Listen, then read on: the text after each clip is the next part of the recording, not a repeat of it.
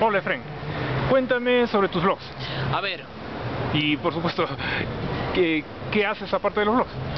A ver, soy abogado, soy abogado, trabajo, soy funcionario público, trabajo en temas de gobernabilidad y política y bueno, tengo dos blogs, tengo un blog de personal que es auraneurótica.blogspot.com, está desde el año 2007 y tengo un blog de eh, pues un puramente académico que ahí comparto las lecturas de mis alumnos en la Universidad Católica, que es fundamentos de las ccss.wordpress.com. Esos son los dos blogs que estoy manejando, también manejo el canal de Twitter que es Aura Neurótica y el canal de Flickr que puedes buscar por Aura Neurótica Foto, en foto con, con inglés en, en Flickr. Entonces, eso estoy manejando en este momento. Ah, y lo de DeviantArt que le tengo votado desde hace un par de años, pero ahí están los blogs, leí las Ya. cosas que ¿Cuál, manejo. cuál es la...? Bueno, me dice que uno de los blogs es eh, básicamente para eh, interactuar con eh, los alumnos, Con mis ¿cierto? alumnos, sí, mi blog es de índole puramente académica. La idea es que eh, Ecuador ha tenido una falencia importante en el ingreso de las tecnologías de la información y comunicación en el aula, especialmente en la interacción de estudiantes y alumnos eh, para trabajar esto. Y no es un tema de plata, es un tema de buena voluntad, la verdad. Entonces armé este blog en un, en un dominio gratuito, en blog, en WordPress. Publico cada semana las lecturas, trabajos para los alumnos, eh, las partes importantes de la materia, metodología, aprovechando las herramientas que están disponibles en el internet. Entonces no necesitamos nada, no gastamos plata. Ellos tienen las, las lecturas las 24 horas del día, los 365 días del año. Ellos también vía Facebook están comunicados de cuáles son las diferentes actualizaciones del, programa y bueno, pues tenemos hasta ahora un espacio interesante, tenemos alrededor de eh, 180, 190 visitas mensuales, lo que significa que no es que solamente alumnos las visitan, es un blog que está en crecimiento. Mi blog personal estuvo en Blog Galaxia en los cinco primeros puestos durante muchísimo tiempo. Ahora por motivos de que uno se hace medio adulto y no, no escribe tanto, pero eh, digamos que en algún momento vamos a hacer un cambio importante y el blog va a empezar a trabajar desde aquí en adelante, ¿no? Ya, y en tu blog personal más o menos ah, sobre qué te enfocas. Sobre mi blog personal. Sí. En mi blog personal pues escribo de todo, o sea, trabajo de lo que siento, de lo que me gusta, de lo que creo, de lo que no creo, especialmente las cosas que no creo. Ah, como creo que todos los como todos los humanos, todos tenemos un espacio para tener el derecho al pataleo. Y el pataleo es importante para todos. En tal razón uno crece, uno aprende, uno, uno aprende a escribir, conoce gente interesantísima a través de, de este intercambio es democrático de, de información y comunicación. Y hasta ahora las cosas van bien. O sea, en los últimos dos meses no he podido escribir nada por motivos puramente laborales. Hemos pasado más bien trabajando en el blog académico. Esperemos que ya estos meses que ya las cosas ponen más tranquilas empecemos a escribir. Eh, confío poder hacer las cosas mejor desde aquí en adelante. Es una experiencia buena bloguear, ¿sabes? Claro. Es una experiencia que te ayuda a democratizar la información, primero, a democratizar el acceso al conocimiento y empezar un intercambio muy valioso de, de- de- de cultura entre toda la gente. Gente que no compartirías en ninguna circunstancia, las conoces mediante las herramientas de la información y comunicación. Y bueno, pues ahora ya está a todo lado, o sea, puedes verlo en el iPad, puedes verlo en el celular. WordPress te da la posibilidad de hacer espacios para que lo veas en los teléfonos móviles, entonces tienes un montón de espacios, cacha. Ujú. Entonces ahora mm, es súper importante de que hagamos del Internet una herramienta para mejorar la vida de la gente. Eh, creo que es el reto más importante de la gente que trabaja con los blogs en el Ecuador y creo que es el reto personal que quisiera. Pensar que el blog es un espacio para ah, mejorar de manera sustantiva la vida de la gente. ¿Y cómo te va con las redes sociales? Con las redes sociales me va bien, o sea, tengo como 2.000 o 3.000 seguidores en Twitter, que eso en términos de una persona es bastante importante. Eh, en Facebook, combinado en amigos y eso, tengo 670, 800 amigos. Combino las herramientas, entonces eh, tenemos combinado todas las cosas en Flavors, que te da chance de que tengas un solo espacio para que toda la gente sepa qué está pasando. Entonces, de ¿Cuál es tu arroba? arroba de Twitter, Sí. ahora neurótica.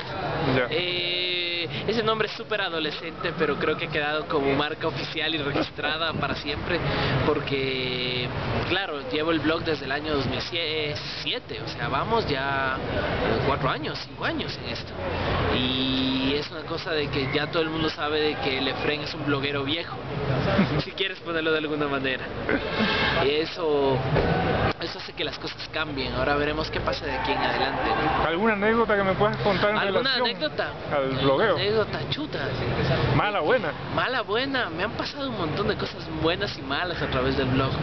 Buenas, eh, he sido citado en varias revistas.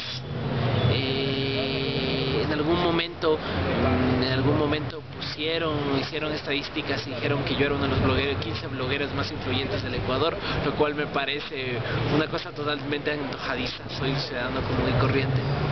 Eh, te mandan a la porra, te mandan a la porra, o sea. ¿Te, han troleado duro? Me han troleado duro, me han maltratado del troll.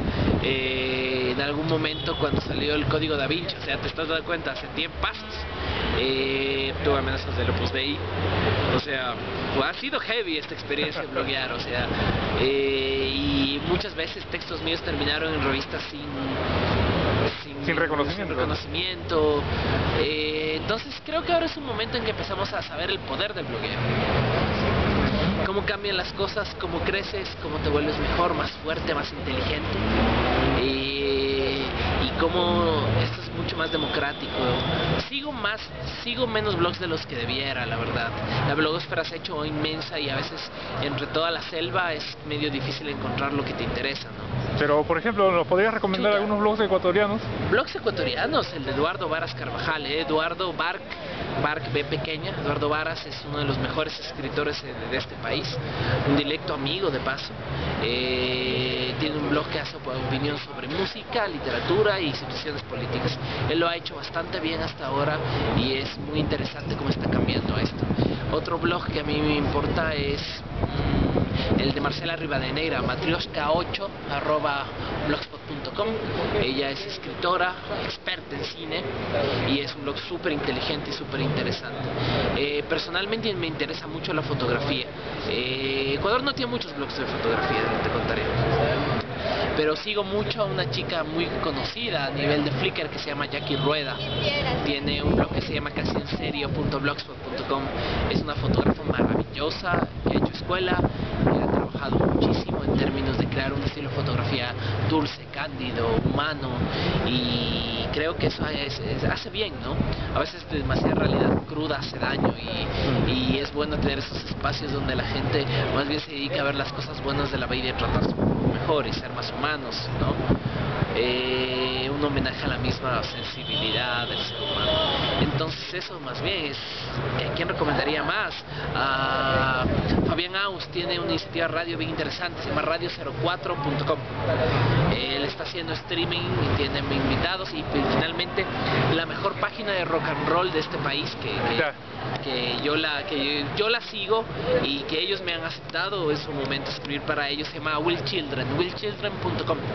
Ellos tienen autorizaciones constantes, streaming de radios, descargas gratuitas, eh, una de las mejores eh, páginas de rock and roll posiblemente de Latinoamérica, o sea, y sin decir porque estoy escribiendo ahí desde hace un mes, sino porque realmente ellos están trabajando desde el fan no desde las estrellas ni de los grandes conocedores de la música, estamos trabajando desde los fans. Y es decir, odio, odio, quiero, quiero. Y eso se trata la vida, ¿no? De querer y odiar de verdad. De, tener opiniones bien establecidas sobre todas las cosas. Creo que eso es, es lo que yo recomendaría ahorita. ¿Quién más?